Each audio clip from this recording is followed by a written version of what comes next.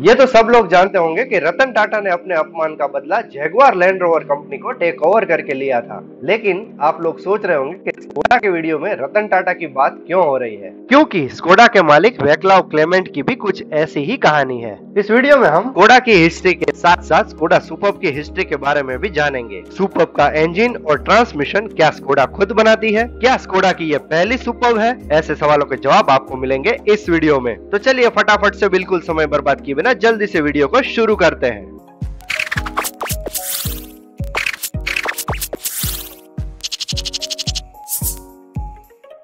वेक्लाव Clement एक जमाने में किताबें बेचा करते थे। ट्रांसपोर्टेशन के लिए उन्होंने जर्मन कंपनी की एक स्पीडल न्यूमन की बाइसिकल खरीदी।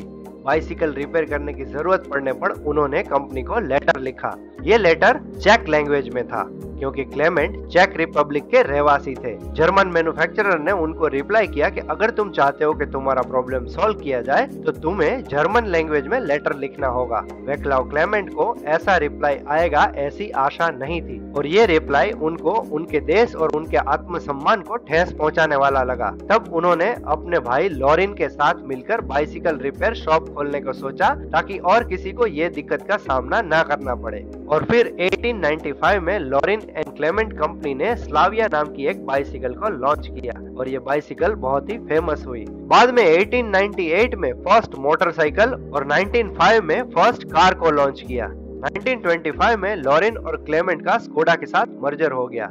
स्कोडा बेसिकली एक हेवी आर्म्स मैन्युफैक्चरर कंपनी थी, जो आर्म्स के साथ साथ लोकोमोटिव्स और शिप्स भी बनाती थी। 1991 में स्कोडा का वॉक्सवैगन ग्रुप के साथ मर्जर हो गया और आज वॉक्सवैगन ग्रुप में 12 से भी ज़्यादा सब्सिडरीज शामिल है, जिसमें Audi Seat Skoda Bentley Bugatti जैसी कई सारी बड़ी बड़ी ब्रांड्स हैं जो आपको अभी स्क्रीन पर नज़र आ रही होगी। लॉरेन एंड क्लेमेंट से लेकर स्कोडा तक के सफ़र में इस कंपनी के कई सारे लोगो बदल चुके हैं, जिसकी एक झलक अभी आपको दिखाई दे रही होगी।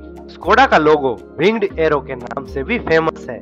विंग्ड एरो लोगो को पहली बार 1926 में यूज़ किया गया था, जिसमें एरो स्पीड को, three feather wings, progress and freedom को, आई प्रिसीजन को और सर्कल यूनिटी को रिप्रेजेंट करता है। वैसे तो स्कोडा की हिस्ट्री काफ़ी लंबी है, लेकिन हमने इसे शॉर्ट में बताने की कोशिश की है, क्योंकि अब हम सुपर की कहानी को सुनाने जा रहे हैं। सबसे पहले स्कोडा सुपर को 1934 में लॉन्च किया गया था।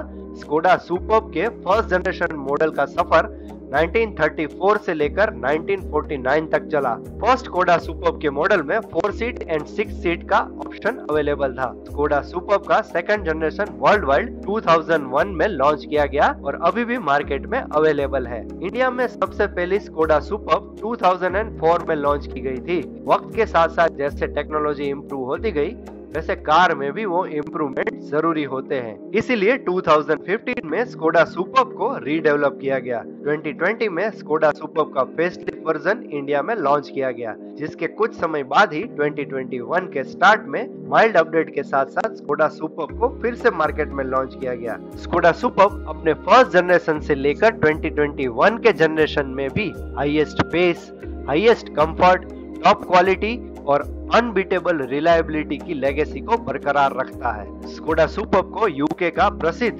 luxury car of the year award भी मिला है। इसके साथ साथ इंडिया में स्कोडा सुपर को 2017 में car of the year limousine of the year luxury sedan of the year and premium sedan of the year जैसे अवार्ड्स भी मिले हैं। स्कोडा सुपर को estate car of the year का अवार्ड भी continuously three times in a row 2019, 2020 और 2021 के लिए मिला है। Estate car of the year का award top class quality super value for money and low running cost के लिए दिया जाता है। इंडिया में स्कोडा सुपर का प्रोडक्शन स्कोडा के औरंगाबाद वाले प्लांट में होता है। स्कोडा का हेडक्वार्टर भी औरंगाबाद में ही है। ये प्लांट में सुपर के साथ साथ स्कोडिया का भी प्रोडक्शन होता है। चलिए अब जानते हैं कि स्कोडा सुपर में यूज़ किया गया इंजन और ट्रांसमिशन किसने डेवलप किया है? 2021 की स्कोडा सुपर में वॉक्सवैगन का डेवलप किया हुआ टीएसआई टेक्नोलॉजी का 2 लीटर का पेट्रोल इंजिन है। टीएसआई का मतलब होता है टर्बोचार्ज स्ट्रेटिफाइड इंजेक्शन ये टेक्नोलॉजी वॉक्सवैगन ग्रुप की डेवलप की हुई टेक्नोलॉजी है और ज़्यादातर वॉक्सवैगन की सभी सब्सिडरीज में यही टेक्नोलॉजी यूज़ होती है। और माइलेज की बात करें तो सुपर में 15.1 kmpl का माइलेज क्लेम होता है। ट्रांसमिशन की बात करें तो सुपर में 7 स्पीड DSG जो डायरेक्ट शिफ्ट गियर बॉक्स के नाम से जाना जाता है, जिसमें ड्यूअल क्लच सिस्टम से गियर चेंज होते हैं।